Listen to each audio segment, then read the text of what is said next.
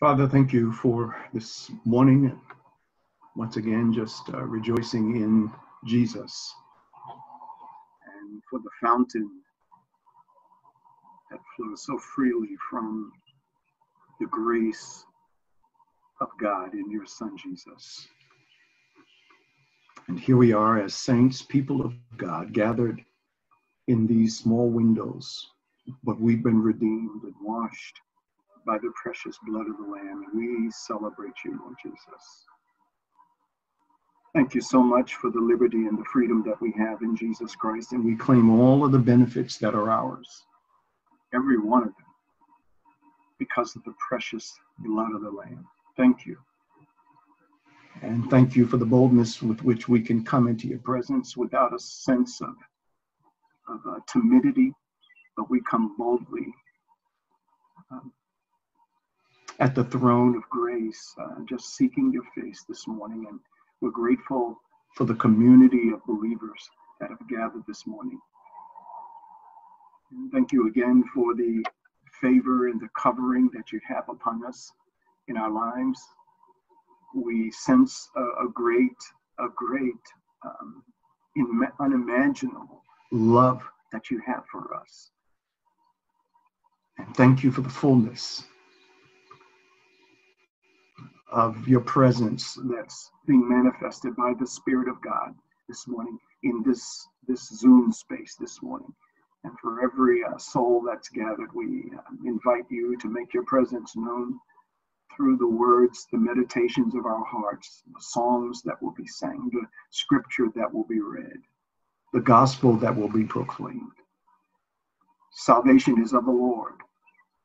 It's your work. It's what you do. It's who you are. Just such a gracious God, kind God, just staggering. The level of kindness in the face of such wretchedness. You're an amazing God, and we bless you this morning. Thank you again for your son Jesus and for these precious, precious people of God. Thank you for the glory that's upon your people. Every house that's represented, every family, every child, every husband, every wife, every man, every woman. Thank you for your favor upon them. Now be pleased, we pray, with um, the worship that takes place in this, this time that we've set aside. We've hollowed it out for you and for your glory. This we ask in Jesus' name. The Bible says that the earth is the Lord's. yes, it is. And the fullness thereof, and the world, and they who dwell in it. We're His, beloved. Every, every, every soul, in fact, there's nothing, there's nothing, there's no place, no thing, no object, nothing exists that does not have his copyright on it. It belongs to Him. You belong to Him. We belong to Him in a special way because we're in Jesus Christ. And I'm, I'm just, I'm just rejoicing. I'm, I'm just uh, overwhelmed this morning with a sense of glory that God has bestowed upon us. I just rejoice with you about the preciousness of Jesus Christ. The sweet, the sweet promise of His return.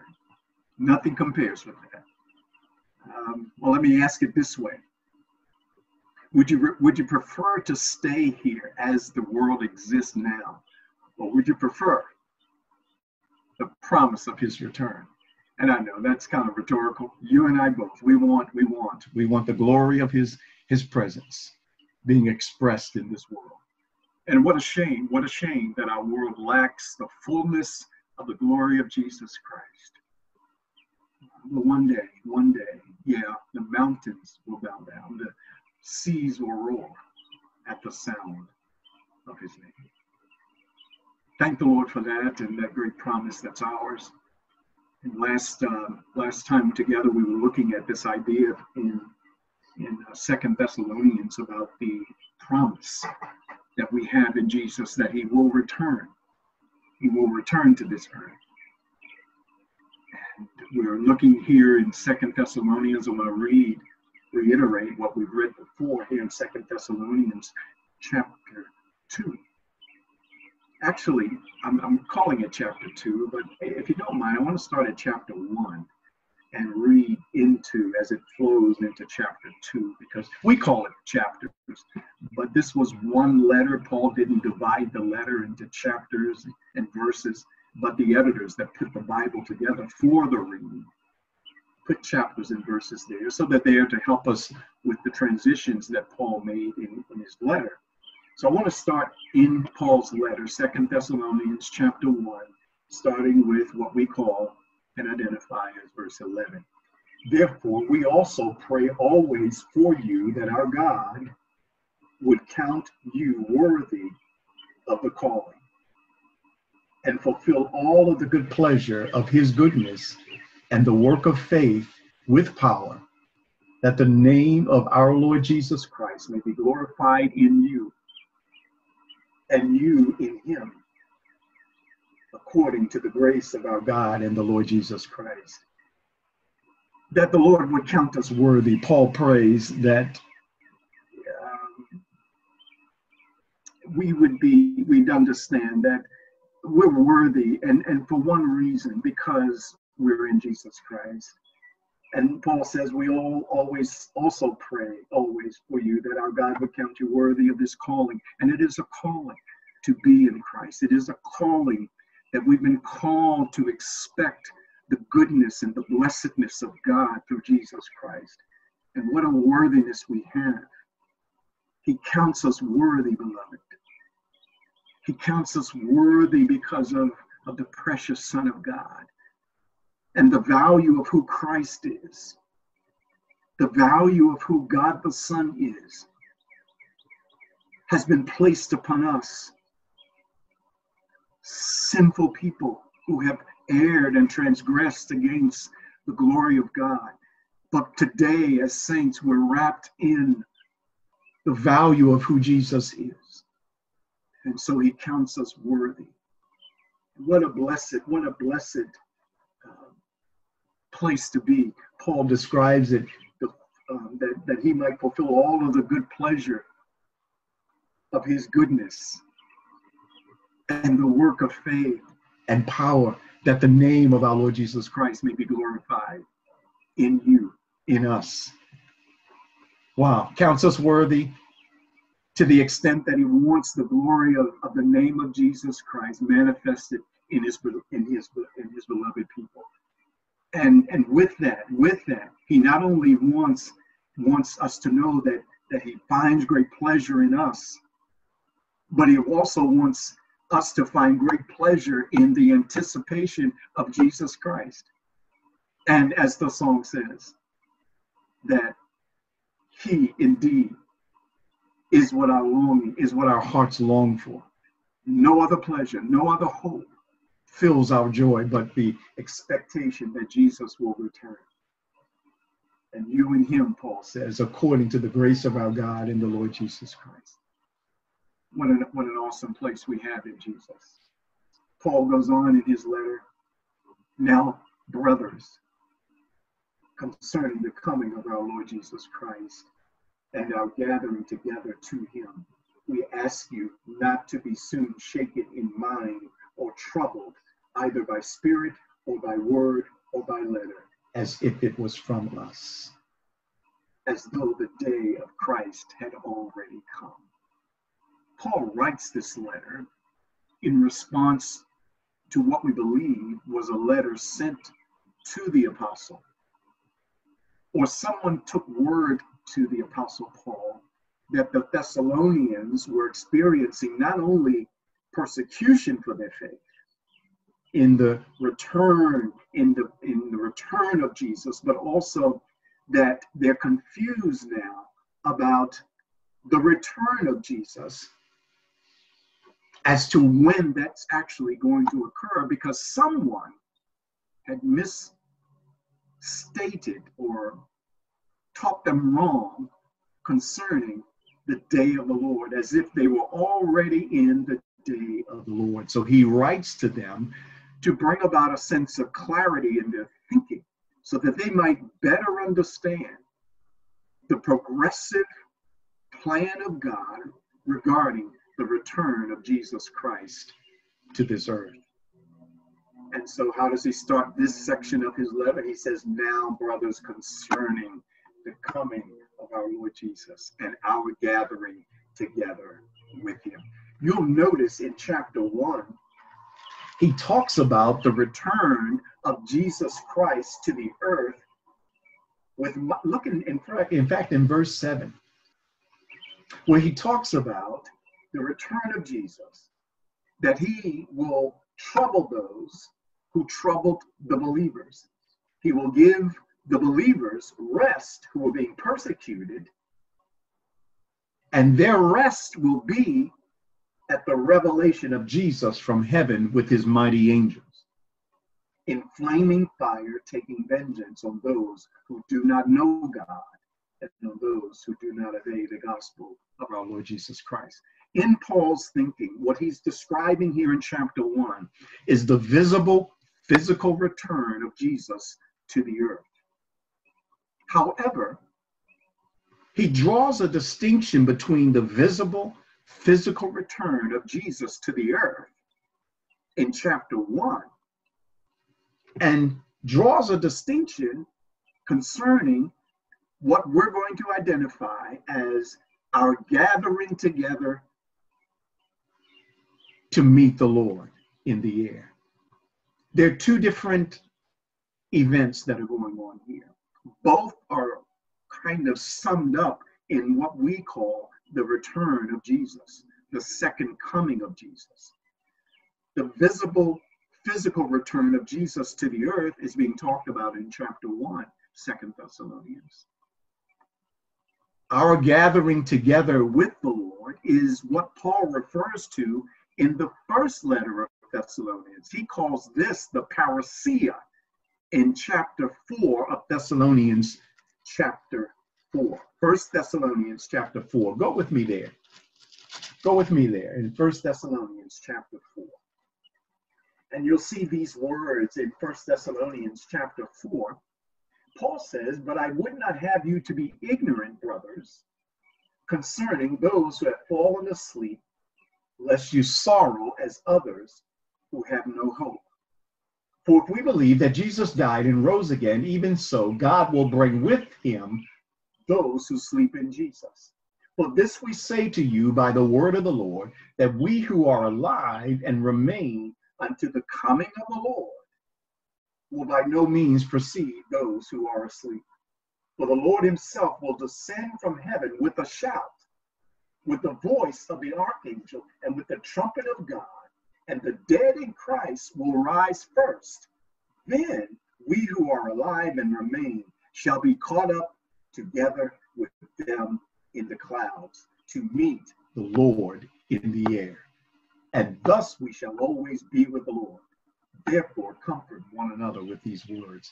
Clearly, here in First Thessalonians chapter 4, Paul is informing them about the parousia, the coming, the gathering together, the snatching away, where it says that we shall be caught up. The word caught up, the word there Paul used was parousia. We in our in our English understanding of what a parousia, it means to be snatched away, as if a, a thief were snatching a purse. Well, that's what's going to be happen. That's what's going to happen when Jesus snatches the church out of the world. And we, the believers, the saints, will be caught up, parousia, snatched away to meet the Lord in the air. That is one phase of the second coming of Jesus. But what you'll notice there is Jesus does not visibly and physically come back to the earth. Rather, the church meets the Lord in the air. That's what we see happening. That's the first phase of Jesus' return to the earth. And I'm going to give you a little bit of a footnote here Jesus has to get the church out of the way before he starts judging the world. He has to snatch the church, his saints, out of the way before he brings judgment upon the earth. In fact, look with me at First Thessalonians chapter 5. Look at First Thessalonians chapter 5.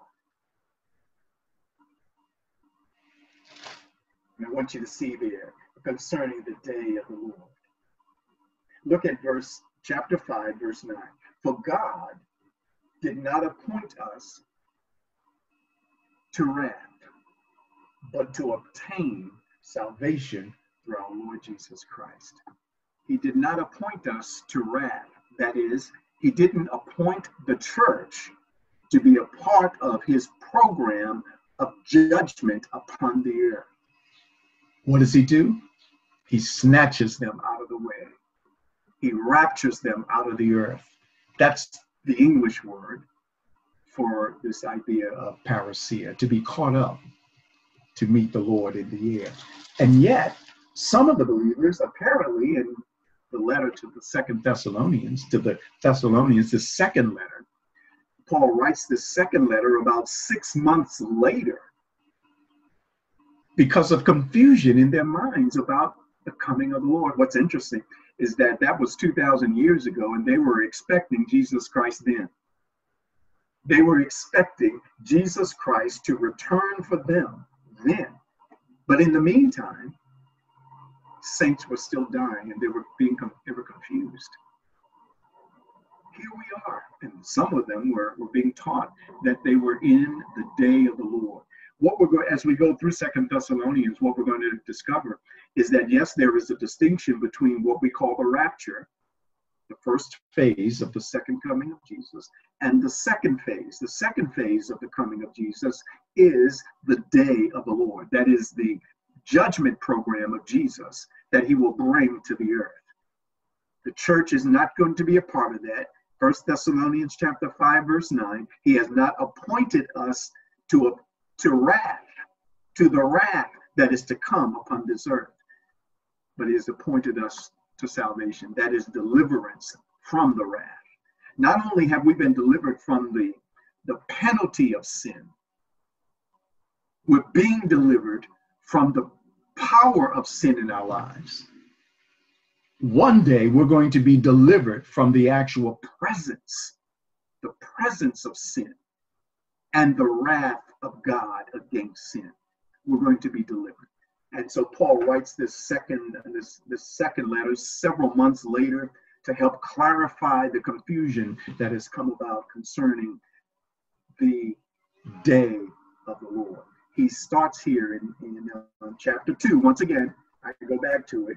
Now, brothers, concerning the coming of our Lord Jesus Christ and our gathering together to him we ask you not to be soon shaken in mind or troubled, either by spirit or by word or by letter, as if from us, that the, as though the day of, the, of Christ had come. Let no one deceive you by any means. But that day will not come unless the falling away comes first. Before we go any further, I, I want to go back to a statement that I made, a few statements that I made. Um, a week or so ago, and, and that is the, the question of why must Jesus return to the earth? I asked that question. And then I asked another question why did he come the first time? And then there was a third question. The third question was what will be his posture, his stance, his disposition, or his deportment, or his demeanor when he does return to the earth? Those are the questions I ask, and we're going to answer those questions through Scripture. First, again, I want to revisit. I want to revisit this idea why we, why Jesus must return to the earth. Now, it's interesting because Paul, in his letter to the Thessalonians, was attempting to clarify for the believers, to keep it crystal clear so that they would understand what God is doing regarding the church and the second coming of Jesus. Meaning this that it is possible, very real, the, the, the possibility is that we can become confused about what God has stated in Scripture. Add to that, there are there are groups of believers in different camps in terms of when Jesus comes, when the millennial comes, when the millennium is going to be started, will believers be in the millennium? Will he rapture us in the middle of the millennium or at the end of the millennium? There's a lot of, of con- confusion concerning the coming of the Lord. It was then when Paul wrote the letter, and it is today. So, for me to reiterate what I've stated before, I have biblical precedent for restating it because it, it demands clarity. And, and I want, and Paul wanted believers to understand it. He writes now concerning brothers, the coming of our Lord. He wants, he wanted the Thessalonians to understand it. I want you, I want you and I to understand what God has revealed in Scripture. Why must he return? And when I ask that question, I, I, I want to suggest to you that once again, he must return to the earth from a biblical perspective because of the principle of righteousness. I want to reiterate that. He has to return to the earth. In fact, in fact, in, in Psalm 98, in Psalm 98, verses 8 and 9, uh, the writer says, For he is coming to judge the earth. With righteousness he shall judge the world and the peoples with equity, with uprightness. See, it's the principle of righteousness. He has to judge unrighteousness. He has to deal with sinfulness and iniquity. He will, he will not hold them guiltless. No, no, he will judge the earth. He will judge the world. He must come back. The principle of righteousness demands that Jesus Christ return to the earth. In our day, in fact, all this this week um, and last week, there was this human, human, just this loud cry for social justice. Our, our, our culture cries out for social justice in light of the unfortunate and, and just despicable way in which uh, George Floyd was killed. And, and our culture recognizes, in fact, the world, I, I believe, recognizes um, just, just how unjust the killing of George Floyd was. And we've said it, we'll say it again.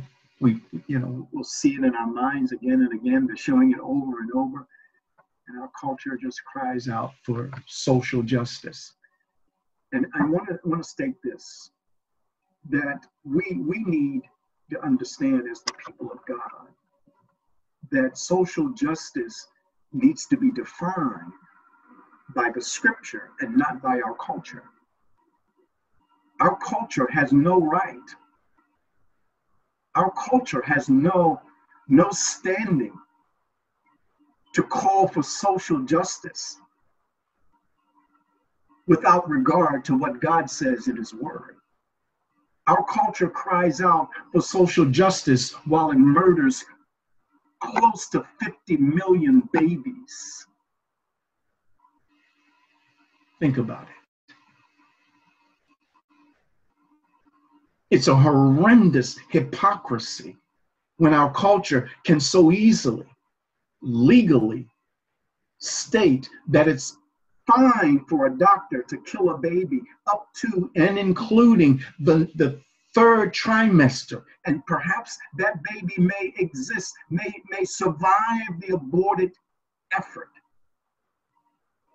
And still they want to legalize the murder of that baby.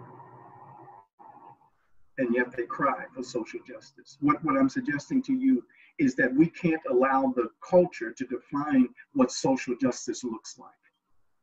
As believers, we need the Word of God. So, what are we doing? We're letting the Word of God shape our worldview. Don't allow, don't allow the world to shape your view and your understanding of the world. Yes, racism is ugly. It's despicable. It's a scourge. It's a, it's a plague that has existed since the fall of man. It's not new. Racism is not new, and blacks are not the only ethnic group that have that have suffered the humiliation and disgrace of racism. It should never be tolerated by any culture. It should, should be uh, summarily, summarily condemned by people and by people groups. It's unacceptable. My heart, my heart um, uh, just just ached for for the family of George Floyd. But I found something interesting in, in my, my heart as well. Is, is my, my heart ached for uh, for Officer um, uh, Gavin uh, Chauvin, I, I, think his name is Chauvin, that, that he, in, in his sinfulness, is, is so broken that he could bring such, such a hideous hideous end to a man's life, just snuff out a man's life without regard. That's depravity. And depravity shows up in, in, in all of its ugly forms in this world. And, and I say to you again, Jesus must come back. He has to come back, and he will come back in righteousness. Racism, rioting, senseless destruction of property demonstrates the utter futility of man of mankind to fix his problem. What do we re- resort to? Destroying property as if that will solve the problem. Rebellion against authority. Jesus has to come back and, and so, beloved, in, in the culture, in their cry for social justice, one of the solutions is get rid of the police.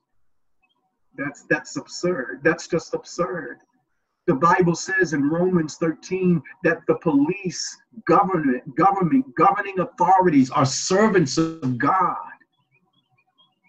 For the culture to resist and to attempt to get rid of police, that's their attempt to get rid of God's authority over culture it's it's it's just senseless but but that's where we are. And i say to you again jesus has to return because of the principle of righteousness. He must return. The prophecy of scripture the prophecy of scripture declares over 1800 times 318 times in the new testament that jesus will return he, he will return 318 times as sovereign. He will come back to reign. That's what the scripture um, proclaims prophetically, both in Old Testament and New Testament. He must return. And then he also must return, not just because the prophecy says he will, but also because the prophecy declares that God will permanently set up his, his kingdom in the earth. You'll see that in Revelation 21. God, God must come back to the earth. And without him, there, there'll be no Savior apart from Jesus Christ. But then I ask again, why did he come the first time? He's coming again the second time. In fact, Hebrews, Hebrews chapter 9 says this He then would have had to suffer often since the foundation of the world. But he came once at the end of the ages he has appeared to put away sin by the sacrifice of himself.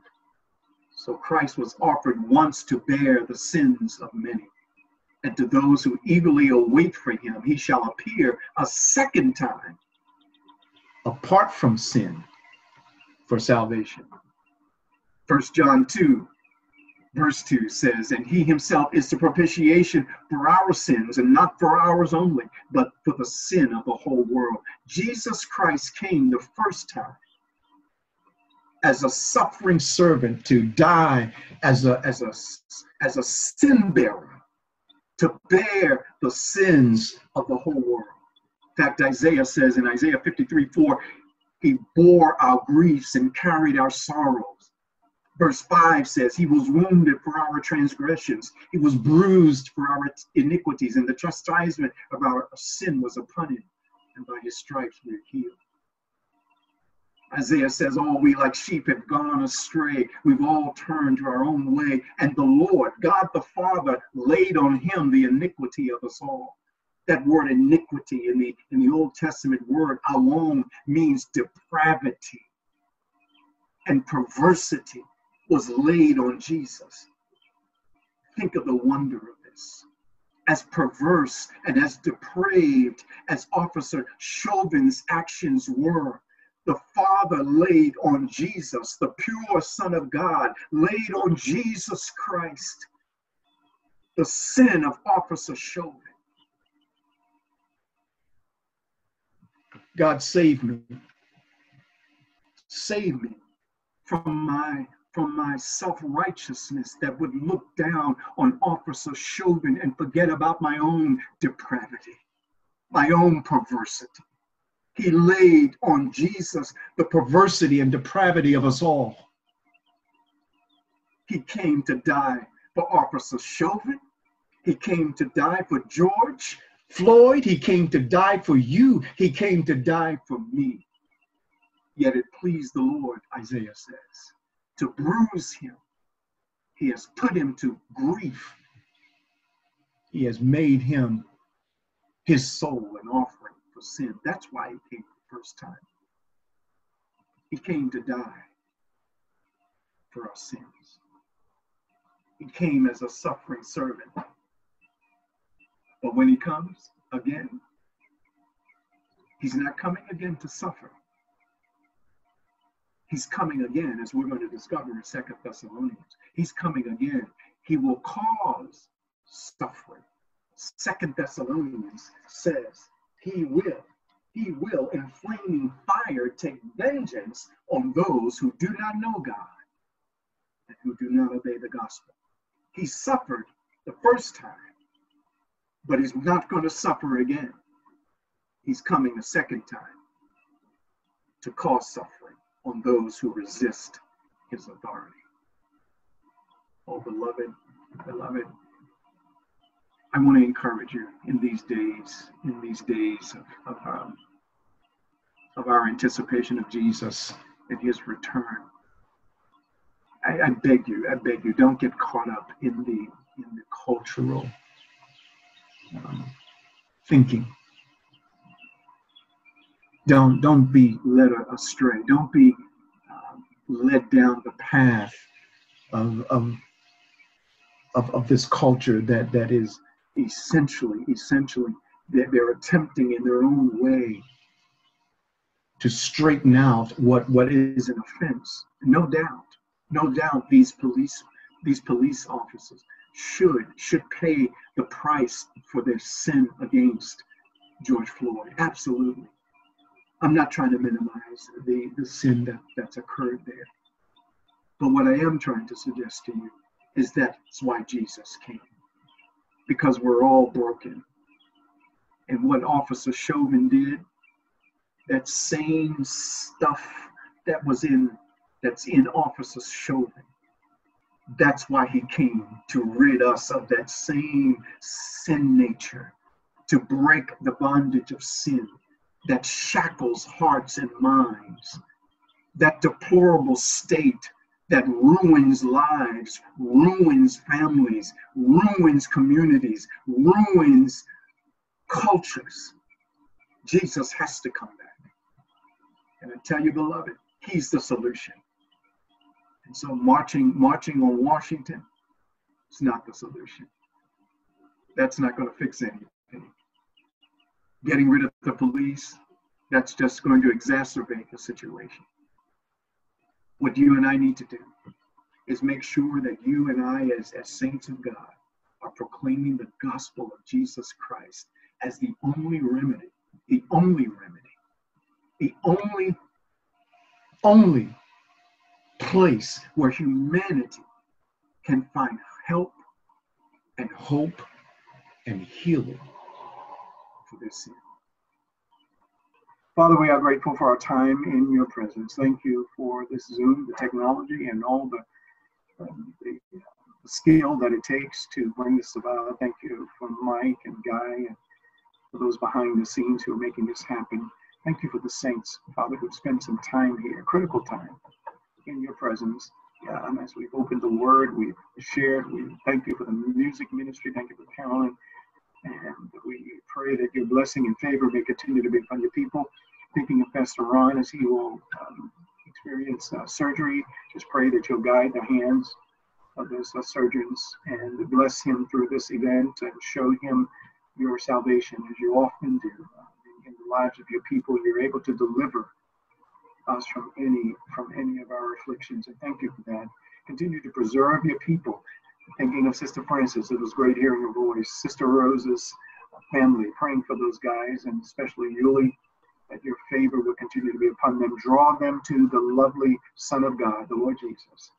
And we pray that you will save them, Father. And thank you again for our time. And now may the God of peace, who brought again from the dead our Lord Jesus Christ, the great shepherd of the sheep, through the blood of the everlasting covenant, make you perfect, complete in every good work to do his will, working in you that which is well pleasing in his sight, through Jesus Christ, to whom be glory forever and ever. Amen. God bless you, saints. Have a wonderful week. Lord willing, we'll see you soon. Not me. Not me, she said. Not me. It was posted. It was incorrect. Uh, well, Okay, happy well, I future, take happy back. future All birthday. right. Mm-hmm. That's, I that's had all one. right. I've already had one this year. That's enough. Enough time to moving fast as it is, right? Well, Brother Wally. You're special to have two in one year. No, no, no. That's not special. That's getting old.